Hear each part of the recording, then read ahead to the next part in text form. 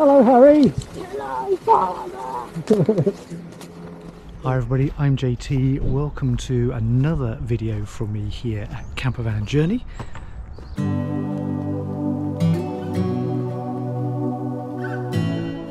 So good morning, welcome to another beautiful day here in the French Alps.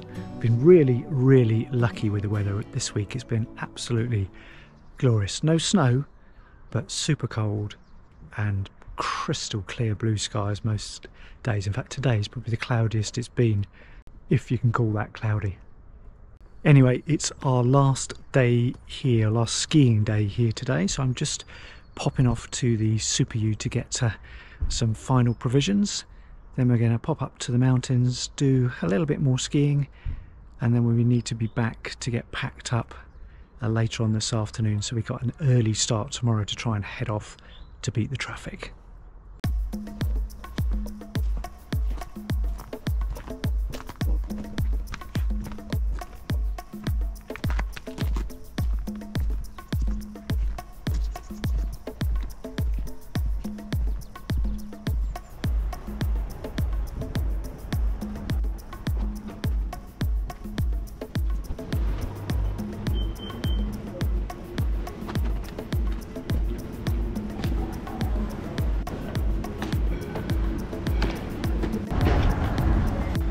Fancy a pan au chocolat?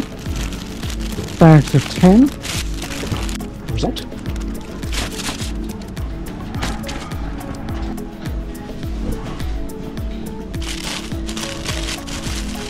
Baguette.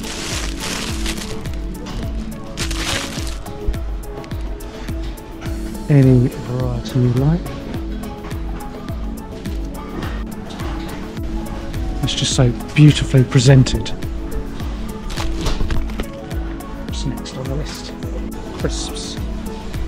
It's from section.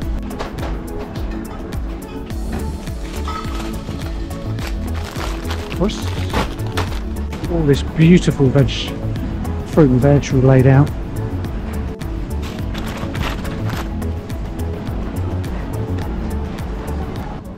This is probably my favourite section. They've got their own sausage section, surrounded by regional saucissons. The smell is amazing. Try one of the Comte cubes to take that with us. Wasn't on the list, but never mind.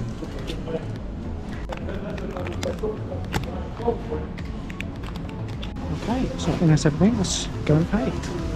There is an Intermarché here in Bourg Saint-Maurice, and there's a Lidl at the other end of town as well, but this Super U is definitely our favourite.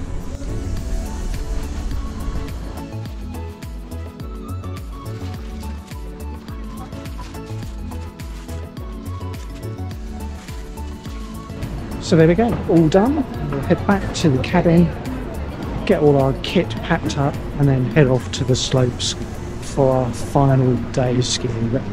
So as I said, this Super U here in Bourg Saint-Maurice is really, really good. It's, it was upgraded a few, um, in fact, it was being done up the last time we came back three years ago, and it's really plush now. So if you're here, check it out.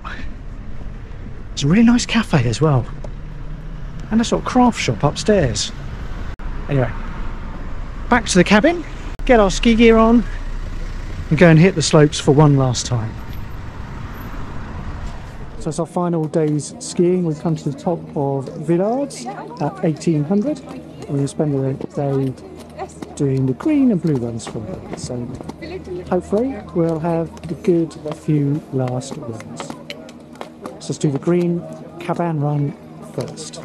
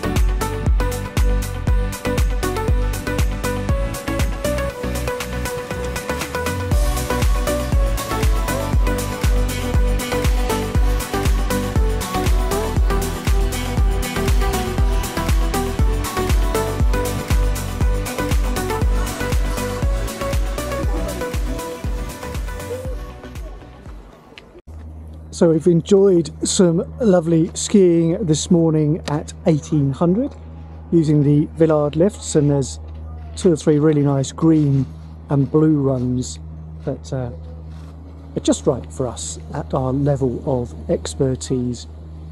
So I've enjoyed a beautiful picnic on the side here, lovely surroundings all about.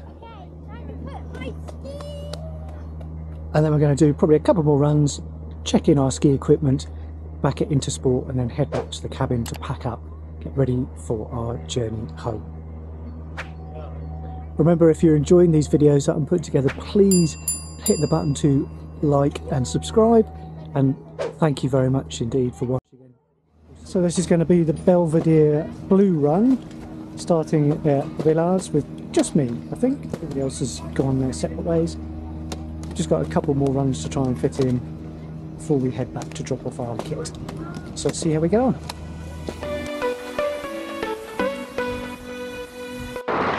Blue run, possibly the penultimate run that was going to do. This bit's a little bit flat,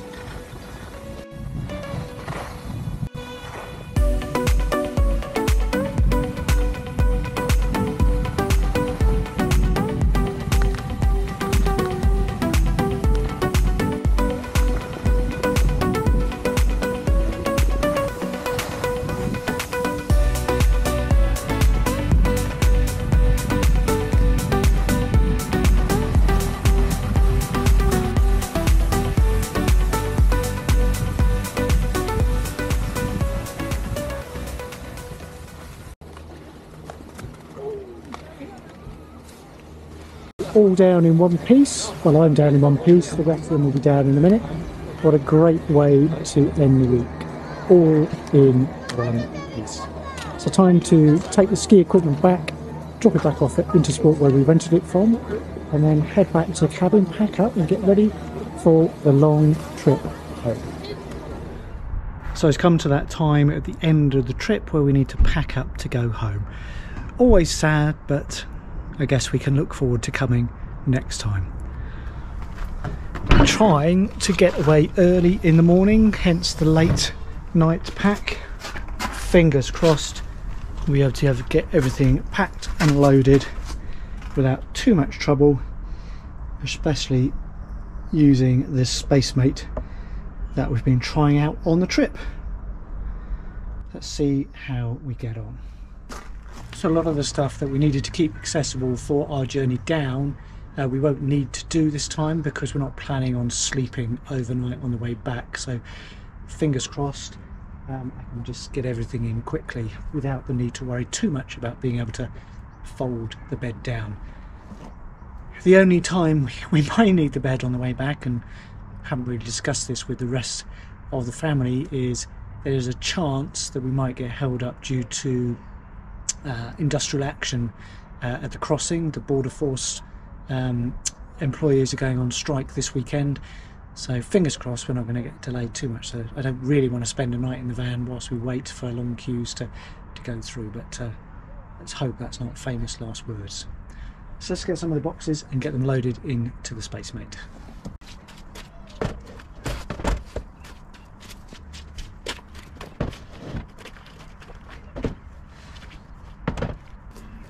Two big heavy boxes all loaded in. Slide those back. Got a little bit of space on top and all of this space accessible for everything else. Claire's just packing our clothes up in the window bags to slot in.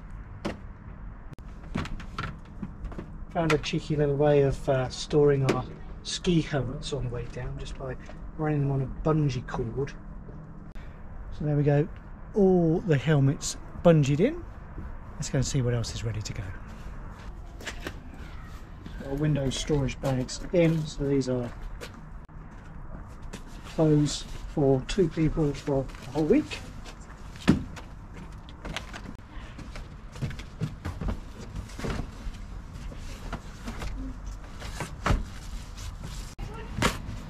That's one end good to go. Let's go and get the second.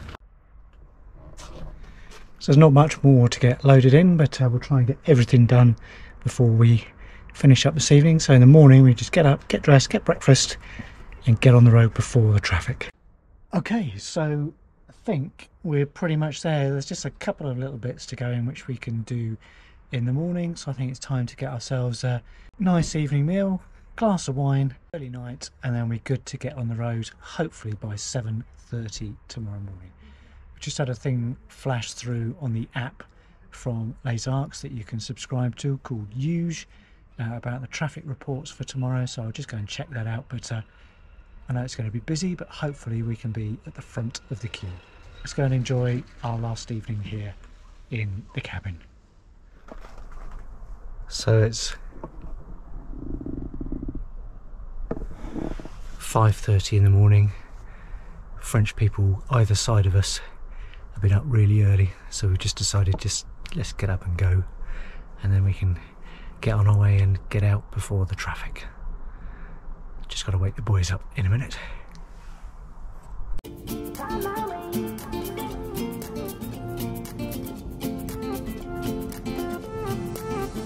A new place, a new home for a while. Let me feel alive. Nothing to hold me back. Take my time, just enjoy the ride. Unknown land passing by. Life is good, best I've ever felt.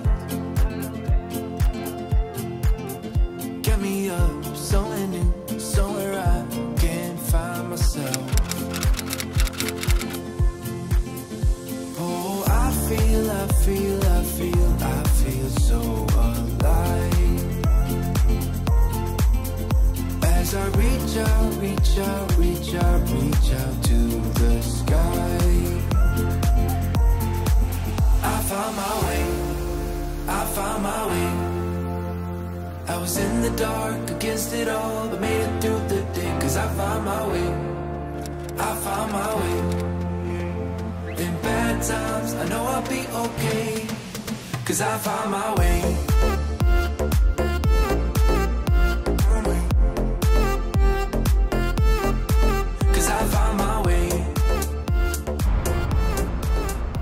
So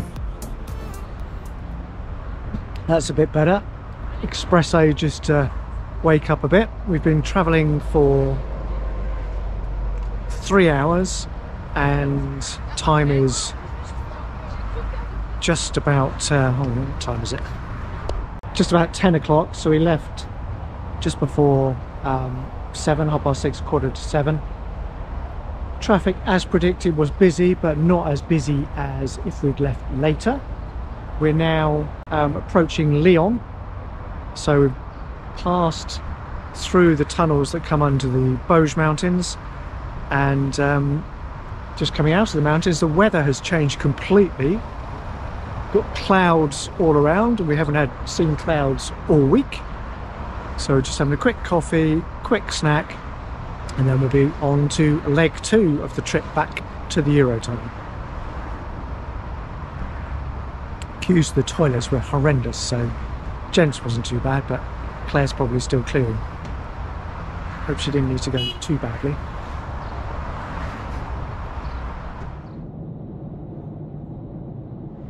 Okay, so it's lunchtime. We are in Beaune at a supermarket where we visited many times before when we stayed here.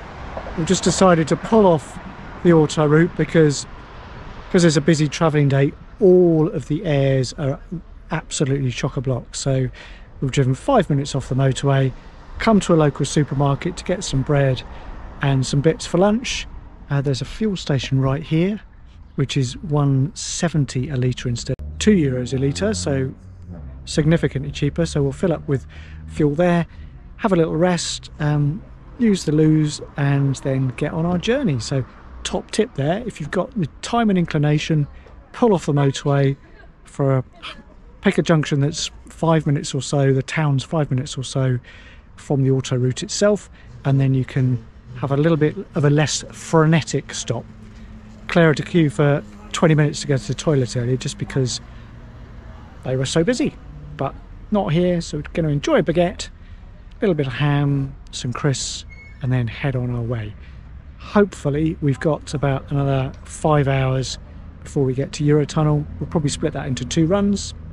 And then our total travel time, uh, including stops, will probably have been about 11 or 12 hours. So uh, quite long, but um, friends of ours who stayed on our trip as well left to fly from Geneva Airport and they've had a nightmare journey from Bourg Saint Maurice to Geneva so far. So be interesting to see how travelling by road and travelling by plane compare. Anyway, I'm going to go and eat my lunch.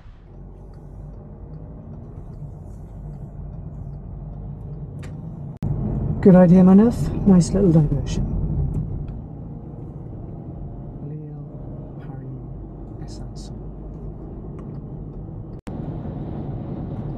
So the sat nav says 610 kilometres to the Eurotunnel.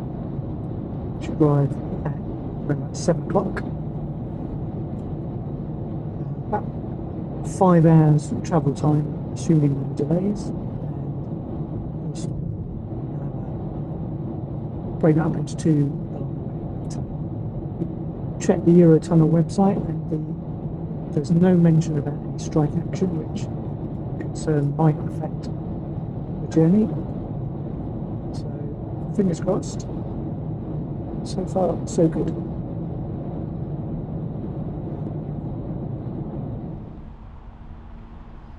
So final pit stop before we get to the tunnel.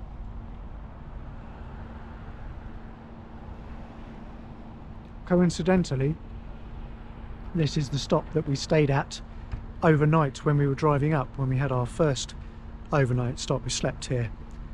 Um, no planning, just happened to be. The last one we pulled into was so rammed we had to come out and drive on the other um, to here. And as you can see, it's pretty much empty, which is great. So we're just going to have a quick snack, quick drink, and then it's about an hour from here to the tunnel. And hopefully, hopefully, we might be able to get an earlier train. We're booked on a train around about uh, 11.30 if we can get there about half past eight, nine o'clock, uh, potentially uh, if a bit of luck, fingers crossed, and not too many queues, uh, we might find ourselves on an earlier train. So next stop, Eurotunnel. So we've arrived at Eurotunnel. Uh, long drive, um, probably, what time is it? Time is just half past eight, so that's about 12 and a half hours um, since we left Saint Maurice this morning. Stopped three times on the way, so it's probably total driving time of um, a good 11 and a half, a good 11 to 11 and a half hours. So about two hours longer than you would expect due to the traffic delays leaving uh, the ski resort. But then we knew that was going to be a problem, which is why we got up early and left early. So we've arrived early. Um, Eurotunnel have scheduled us onto a train that's an hour earlier than anticipated, which is great. Um, but we've still got uh, a couple of hours to wait before that uh, boarding commences. So I'm going to grab a little bit of shut eye. Uh, Claire and the boys have wandered inside to go and have a stretch of their legs, and um, we're almost, almost on the final leg of our trip, which is a little bit sad, really. And as we were driving up through France, having left this morning the crisp, blue, frosty skies of the Alps, arriving here in northern France, and it's wet, mild, drizzly, drizzly, and windy. Um, just a real contrast. So, bit of a an anticlimax, but never mind. We've got great memories of the trip, so means that we'll just have to go back for another visit. So there we go.